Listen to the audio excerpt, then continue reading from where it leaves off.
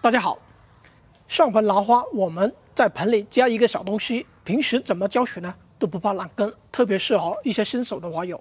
首先给大家说一下这个植料，一定要选择疏松、透气、排水良好的颗粒植料。松树皮一半，加一半这个火山石，加一个小东西呢，就是这个沥水罩了。沥水罩呢，更有利于兰花的根系生长。放在中间的位置。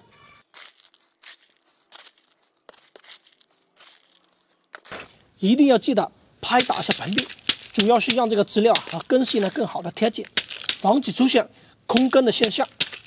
植料呢也不要放的太多，我们这个资料覆盖炉头的三分之一就可以了。